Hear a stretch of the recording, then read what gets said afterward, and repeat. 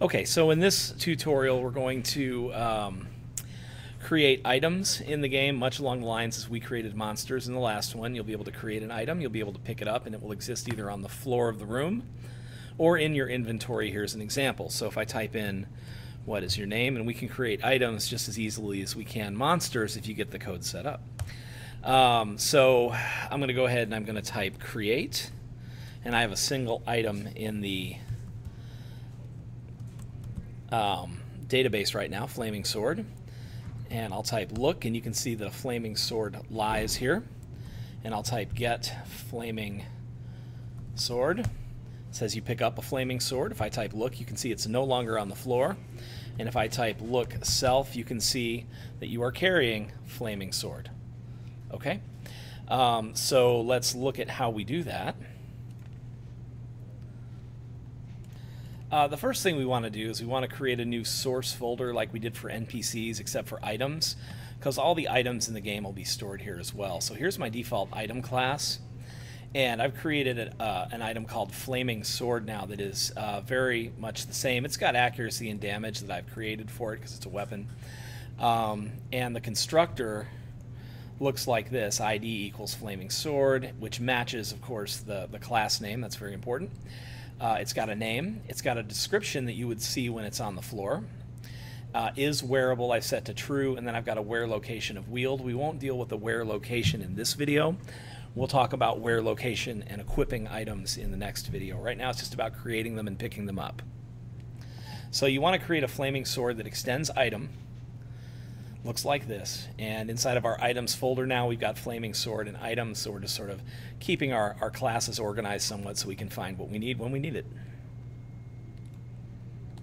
Okay, here's the room class, and I've basically done one thing with the room class here. I've created an array list of type item. I'm calling it item, and so we can have an array list of items now that are inside the room class. And inside the PC class, I also have an array list of type item that's inside the PC class. And anything that's in here, of course, will be in the uh, user's inventory. And anything that's inside the room, of course, will be lying on the floor. So you want to add those array list of type item to the room class and the PC class. Okay, here's game objects, and what I've done is I've created another uh, static array list now, and I'm calling this item database. And this is going to contain a database of all the items in the game that we can reference and sort of loop through to figure out uh, what it is we're dealing with. And it's a new array list, okay? And then I've got a method down here called initialize item array that basically has an entry for every item that I've created. In this case, there's just an item for item, and then there's one for flaming sword, which I have here. So as, however many items I have, of course, we're going to put in initialize item array. And inside of our uh, simple RPG class, uh, it's important that we initialize this with game objects dot initialize item array so that uh, that item array is populated at the very beginning of the game. So we've got a nice database with all the NPCs and a nice database with all the items. Okay, so I've added two new methods here. One of them is create item. The other one is get. Let's look at create item. If x.length equals 1, you're going to say create what exactly because they've only typed the word create. What do you want to create? If it's 2, we're going to loop through the entire item database. And we're going to create a copy of each one as we go through. So item 0 is going to be local item. We're going to check the ID of the item to see if it matches what the user typed in. So if I type create flaming sword, well that would match the item at index 1, so the second time through this loop it would catch this and match. Uh, then we're going to loop through all the rooms, okay? And we're going to see what room the player is standing in. So if gameobjectsroom.getY.number equals gameobjects.pc.inroom, this right here is something I find I'm copying and pasting a lot because we need to know what room the PC is in and we need to do something with that room. So this little chunk of code right here is one that I've copied and pasted several times. It's uh, pretty helpful. Um, so we're going to go through all the rooms, okay, and uh, we're going to gameobjects.room.get.y, the room you're in. We're going to add an item, all right, and we're going to cast whatever it is, local item ID, uh, as a new class. Okay, so if they type in Flaming Sword, all right, well, that's going to match what they typed. And then we're going to add this now to the room's item array list. Pretty simple. And then we print you create a, all right, and we get the room they're standing in, all right. We get the list of items within that room, all right, minus one, the last item on the stack in the room, and we print the name, all right. And so uh, we've created that item in the room. So let's take a look at the look, what we do inside a look. So you want to be able to see that, all right? And so inside of look here, we've got this um, if x.length equals 1, they just want to look at what's in the room. Uh, we're printing exits. We're printing all the NPCs. And now we're looping through all the items in the room. And we're simply printing those descriptions. So as many items are in the room that the user is standing in, all right, we're going to loop through those items and we're just going to print the descriptions. In this case, when I type look, I saw a flaming sword lies here. Okay. Um, let's look at the get command. All right. Once again, get what exactly? If length equals 2, we're going to loop through all the database, all the items in the database.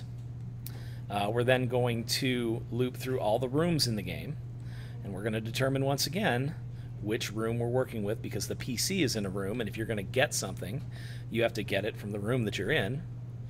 All right. Um, and then we're going to loop through all the items in that room. And if the command or the second argument that they typed equals, all right, um, any item that's in the room, for example, if flaming sword is in the room, we're going to create a local um, sort of a local item here that we're going to be able to work with. All right. And we're going to add it to the PC item list.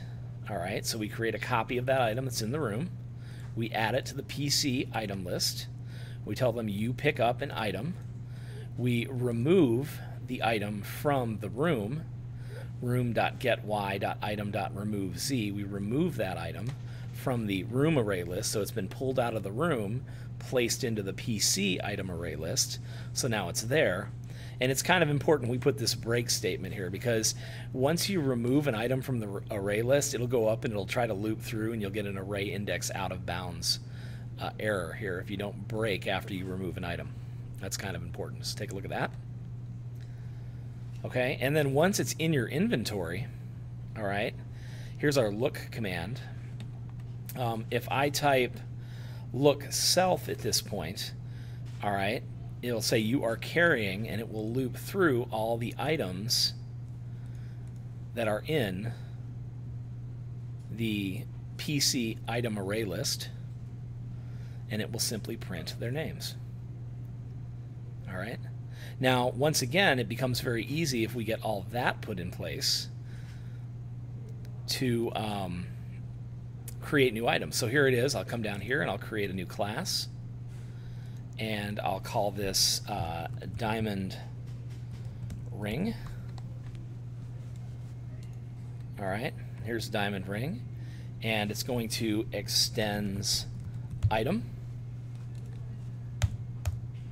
All right, I'm going to grab my flaming sword and copy all the good stuff. into diamond ring. Okay, going to give it the appropriate identifiers here.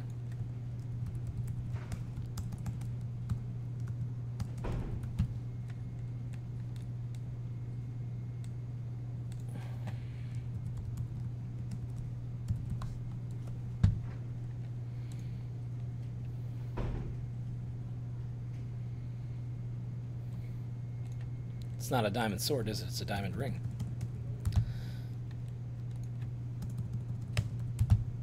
uh, name, diamond ring, description. Once again, I'll just change this, make it simple. A diamond ring lies here, wearable true, wear location. I'll go ahead and I'll just type finger here. And we create all our wear locations within the items themselves. Um, we'll be working with that, wear locations, in the next video. Go ahead and I'll click save. All right, and then I have to add it to the, um, Inside of game objects now, I just need to add that diamond ring here so that it's added to our database. And that's it. I've now created a new item that can be created and picked up. Let's try it. So I'll click OK. What is your name? Josh. Create diamond ring. You create a diamond ring. Look, a diamond ring lies here. Get diamond ring. You pick up a diamond ring. Look, it's no longer in the room. Look, self, you are carrying a diamond ring. Okay, so um, good luck uh, creating items and getting them into your inventory. In the next video, we'll look at uh, wearing and equipping items.